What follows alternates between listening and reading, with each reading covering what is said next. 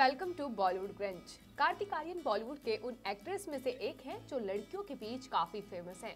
इतना ही नहीं, सारा अली खान कई बार ये कह चुकी हैं कि वो उन्हें बेहद पसंद करती हैं।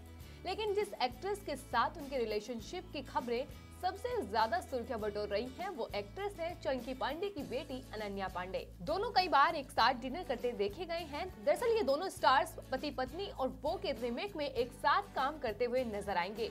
हाल ही में एक इंटरव्यू के दौरान कार्तिक आर्यन ने अपने रिलेशनशिप को लेकर बात की। कार्तिक ने बताया कि फ़िलहाल वो अपने काम पर कंसंट्रेट कर रहे हैं। उन्हें लगता है कि रिलेशनशिप में रहने के लिए काफ़ी वक्त की ज़रूरत होती है। और अगर वो रिलेशनशिप को वक्त नहीं दे पाए तो उन्हें इस बात का अफसोस होगा।